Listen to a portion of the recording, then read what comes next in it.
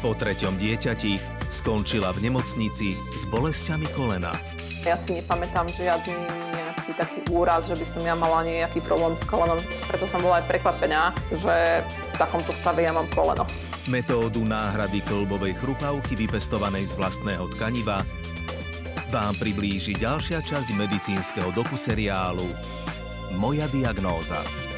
Premiére v pondelok o 20.10 na dvojke.